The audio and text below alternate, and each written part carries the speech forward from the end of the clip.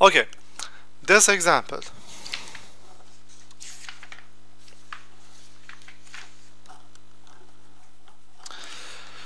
Okay uh, the purchase cost for carbon steel. Heat exchanger operating an ambient pressure is this one. So the purchase cost the purchase cost at ambient pressure which is one bar and carbon steel is this. So this is your cp0 is already given to you. The purchase cost of the equipment heat exchanger uh, which is made of carbon steel and at one bar. This is your cp0 the following cost information is given to you. So let's say if we consider that my equipment cost 100 dollar or real whatever.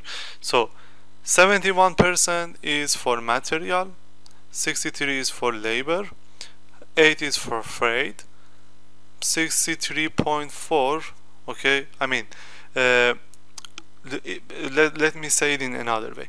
If let's if we consider that the equipment cost is 100 okay we have this additional additional expenses to pay to bring that equipment home and installing and make it work. Okay let me be very I mean like be very careful about how how we use this number. It's very important. So what is this factor means if my equipment is 100 real the price of purchase price of that equipment is 100 real from the company that made it. Let's say there is a company in industrial area in Qatar that are making that heat exchanger and we buy from them we buy the equipment from them for 100 real. Just imagine like that. Now we have to put the transport the heat exchanger bring it to the another side let's say in um, Qatar gas site when wherever the plant is we want to install it. So we have to pay for the freight for the labor. Uh, there, there might be some overhead expenses engineering expenses to inspect to make sure the installation is correct and uh, to run it right? So those are the additional the expense that we have. So for that equipment 100 real the material cost of that equipment is 71.4 labor that is needed is 63 freight is 8 8 real or percent. Overhead expenses 63.4 and engineering 23.3 the the sum of this shouldn't be necessarily 100 right? Is because just additional information uh, additional expenses that we have to bring that heat exchanger home and install it. So using the information given above determine the equipment cost multiplier given in table 5 and the following. So you are asked to find CB C uh, you, you need to find F FBM0 and CBM0 alright? So how we do this?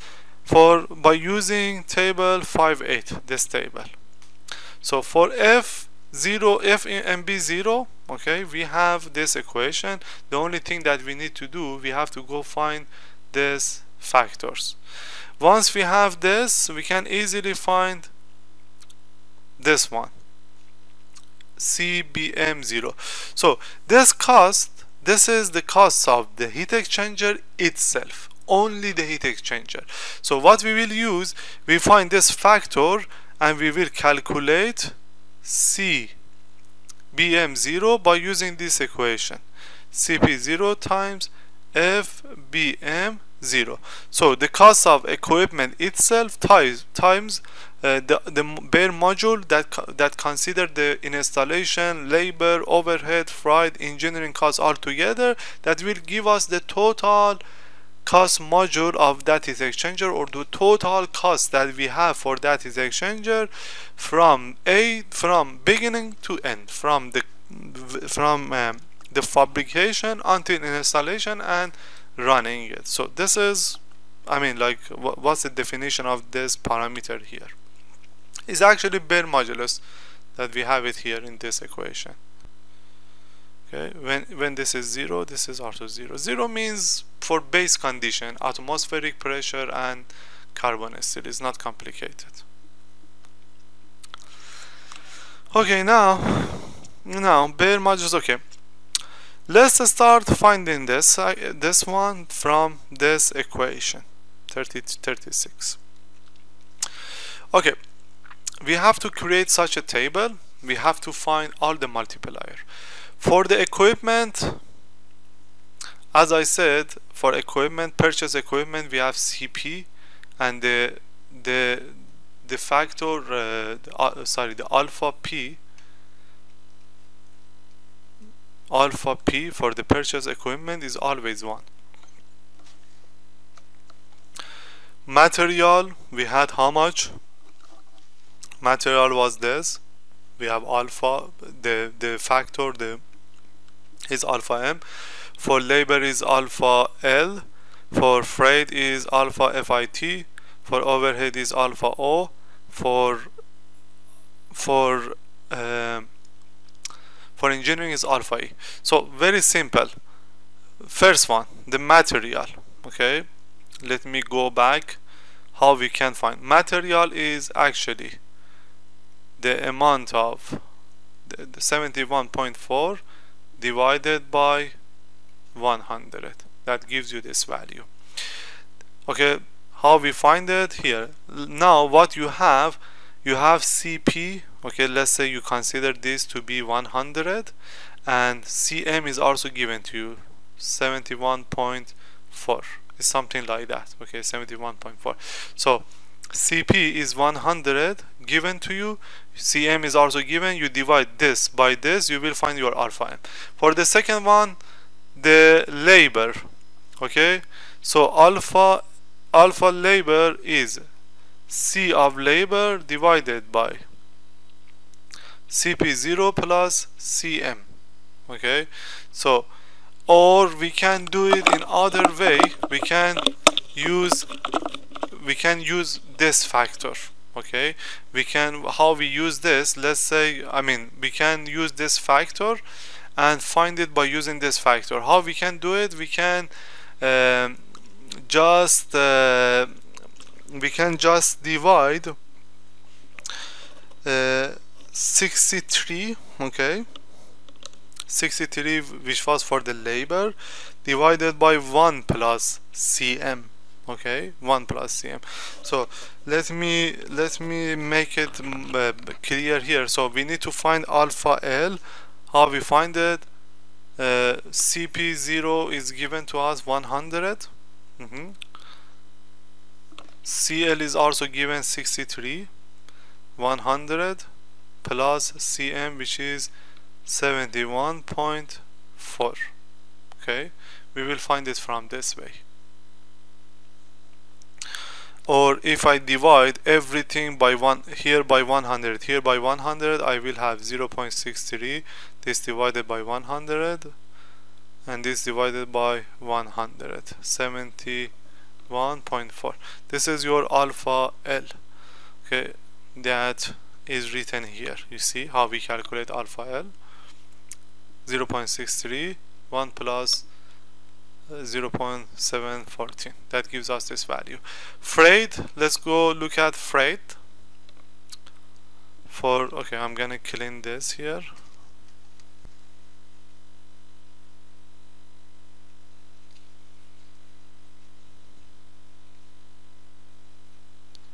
So for freight where is it? Freight is located here okay so you have this equation.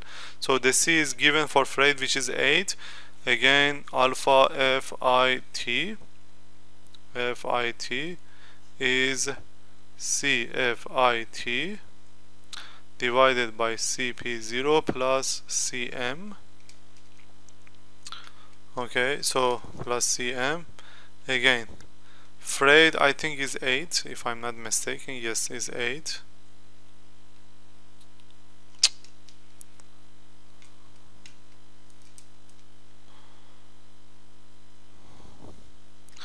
is 8 cp0 is 100 plus 100 plus cm is 71.4 again if you divide everything by 100 the numerator and denominator you will reach to this equation. Then overhead overhead is here. Where is overhead? Can you help me to find it? Overhead is here. Is the CL that you already have C, C overhead which is given to you okay? Mm -hmm.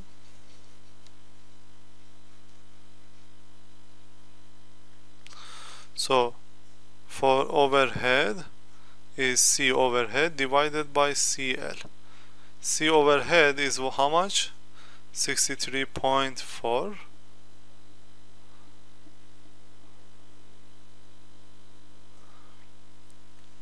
63.4 and the labor is 63 if you do the calculation you should get 1.005 something like that. Let me just uh, let me just do the calculation here myself 63.4 divided by 63 yes it gives you 1.006 or 05 is this value here what you have here. Okay and you can continue to do the calculation for the last one engineering and you will get this value. So now you have all of them. You have uh, all the factors. You just put all the factor in this equation and find the bare modulus. Okay so you have alpha m okay which is that we already calculated. So is here alpha m then you have alpha L labor. Is just written you know like here this is at the beginning but here is written at the end. It's just uh, a small change like that. Alpha L is here. Freight is how much? 0 0.747 is here. Alpha L again is this alpha lay alpha overhead is this one this one here. And finally engineering which is this one. If you put all together you will find the bare module equal to this value. Then you need to okay so you have the price of the heat exchanger at one atom only the heat exchanger only the equipment nothing else.